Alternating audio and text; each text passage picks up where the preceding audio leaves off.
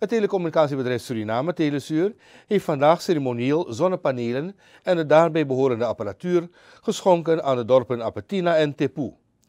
Het gaat hierbij om 36 zonnepanelen van elk 180 watt voor Tepu en 45 zonnepanelen van elk 175 watt voor Apetina. De schenking past volgens het bedrijf helemaal bij haar Corporate Social Responsibility beleid. De telecominstallaties in deze twee dorpen zijn intussen vernieuwd, waardoor het mogelijk was deze solarvelden aan de dorpen te schenken. De ongeveer 600 bewoners van de dorpen kunnen nu alvast overdag worden voorzien van elektriciteit. Kim van Ziegem van het bureau Volkscontacten ondertekende samen met Telesuur waarnemend directeur Mike Antonius de overdrachtsdocumenten. Namens uh in de eerste instantie namens de dorpen Tipu en Apentina uh, en uh, de gemeenschap natuurlijk, dorpsbestuur, uh, bedanken wij Telesuur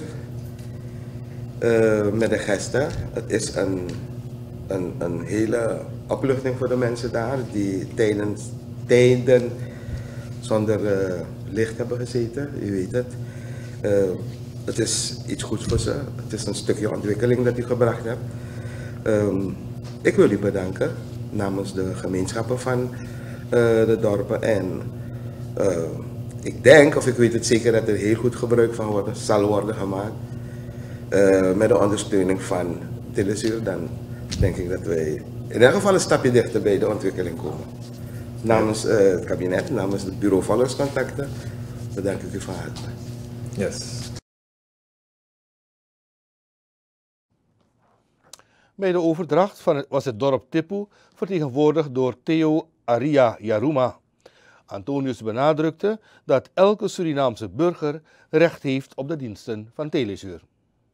Uh, het is u bekend dat wij in de afgelopen jaren uh, bezig zijn met uh, zeg maar, telecommunicatievoorzieningen steeds brengen naar in principe zeg de leefgemeenschappen waar het de afgelopen jaren er niet is geweest.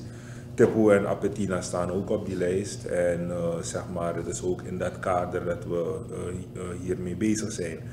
Um, we hebben in de afgelopen jaren heel veel uh, voorzieningen gebracht, steeds verder naar de zuidgrens. En eigenlijk zijn er nog maar vijf van dat soort leefgemeenschappen die we van de zeg maar, telecommunicatievoorzieningen, dat we dat nog moeten leveren.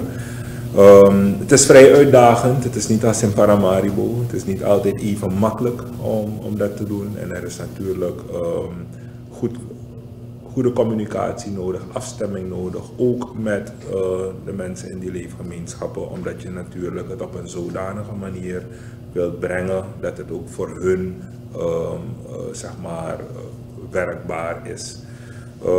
en daarnaast ook de vegetatie is ook anders dan wat wij normaliter gewend zijn. Dus dat zorgt ook voor de nodige uitdagingen.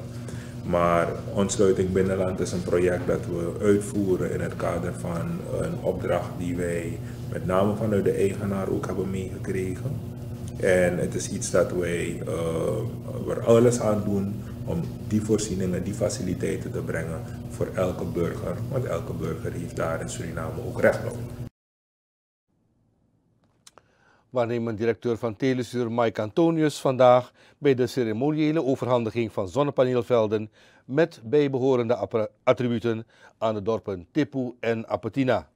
Hij verduidelijkt dat het onderhoud zelf door de bewoners van de dorpen ter hand zal worden genomen.